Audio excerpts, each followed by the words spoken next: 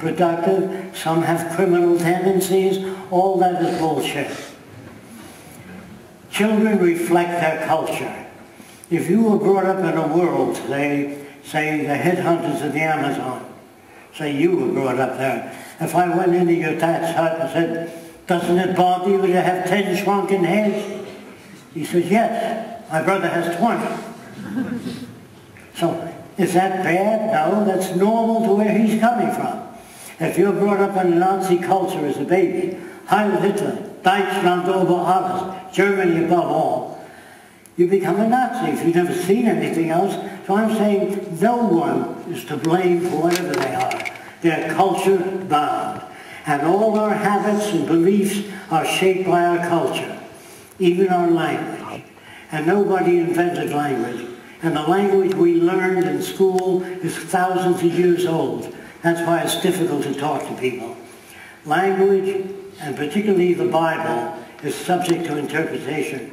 When you read the Bible, somebody says, this is what Jesus meant. Another guy says, no, he meant that. And the third person says, you're both wrong.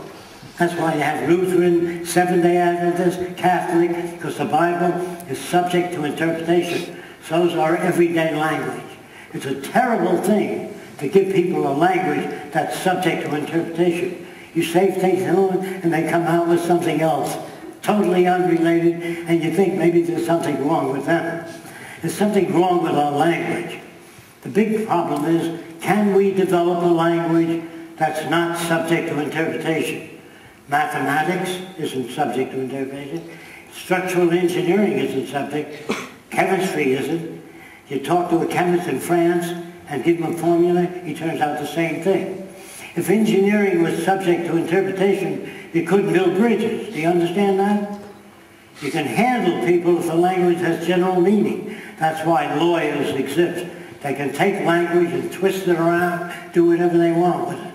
You can't do that in technology. You can't twist mathematics. You can't twist chemistry. So I'm saying the language we learn is, is improper for developing a sane society. And sustainability is a word that has little or no meaning. Sustainability to the medical profession is people get sick and they come to the doctors and make more money with it. Well, that's sustainability. But if you make automobiles that are self-repairing or electric circuits that are self-repairing, the people that repair electric circuits in this system will get mad at you. So it's not sustainability for them. So when you use the word sustainability, what the hell are you talking about? When we use the word in the Venus Project, we mean the well-being of all the world's people, not a selected few. Now we have more than enough energy, more than enough resources, so everyone can live better than the wealthiest people today. I know it's hard for you to imagine because you've never known anything. But do you know there's over 2 million cars, automobiles a day outside the factories for eight hours while the people are at work? What if those automobiles were used by people that came out of the factory and drove them away? You'd have 10 times as many cars available all over the world. Then you have freight yards with freight trains, hoping that business would be good next month so those freight trains would be working. In a balanced flowed economy, everything works for everybody. There's nothing sitting around. Now, when you design a factory today, the minute you build that factory, the land value goes up. So if you need spare parts, a spare parts factory will not locate near you because the land cost is too high, so they move to Hialeah, Florida. And then you have to have the freight trains pick up stuff all over the country to make things. The free enterprise system is the most wasteful and destructive system ever conceived of. It's a very stupid process where some people live very well. They call it sustainability. But what you have to offer, takes things away from them. So that would be unsustainable. So sustainability is a word that has really no meaning unless you define your terms. So when you speak to people, they say, I believe in a freedom society where everybody participates. Participatory democracy. So I meet an American that says, that's what I believe, participatory democracy. I said, did you vote for the space program? I said, I guess not. Did you vote for any highway design? I guess not. Did you vote for the design of the Capitol building? No, I guess not. Where the hell do you participate? You don't vote for anybody. They put the people up there for you to vote for. You don't pick the people because you don't even know there's such a thing as that. So the system you live under is basically the one that creates the problems.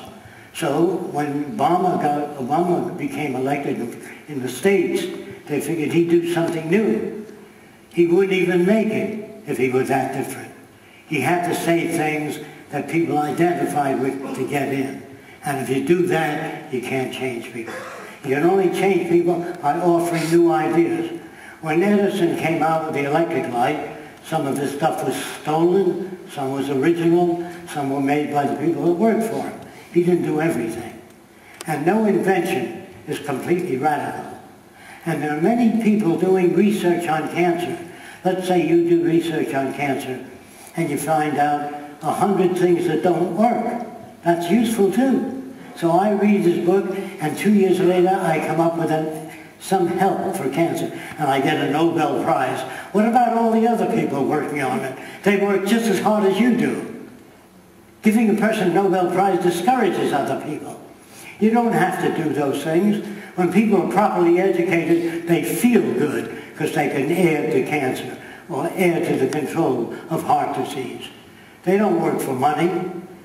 When people work for money, can you really trust them? I got just the car you're looking for. I got just the house you're looking for. All this is bullshit. And the kind of world you live in is essentially bullshit. And that's what it's made of. And there are no...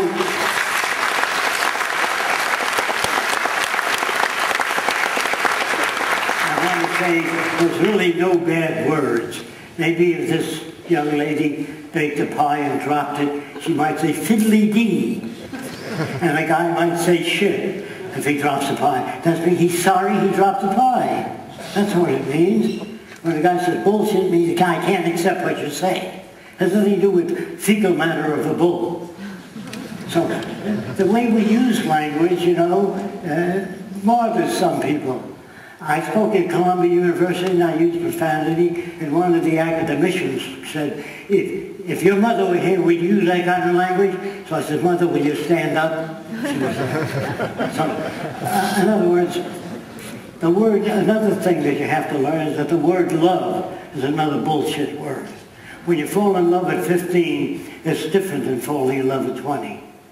And when you're 27, your concept of love is different again.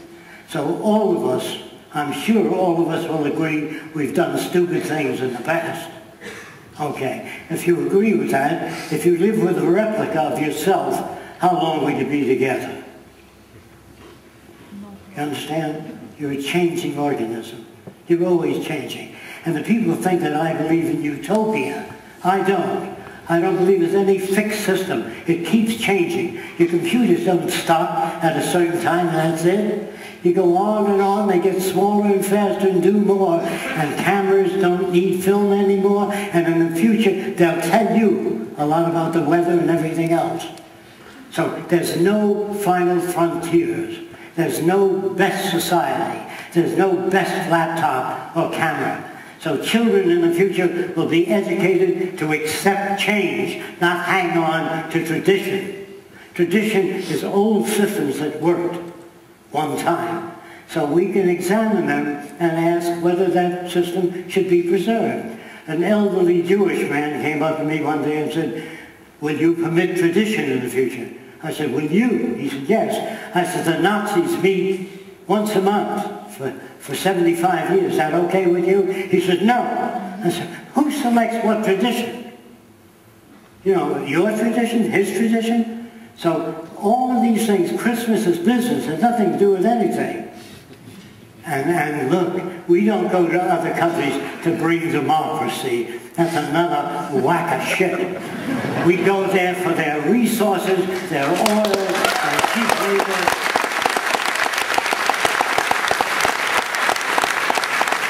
And the business of armament is a real big industry, selling armament.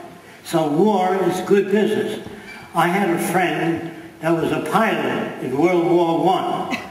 He told me he flew over German munition storage systems and he was ordered not to bomb it.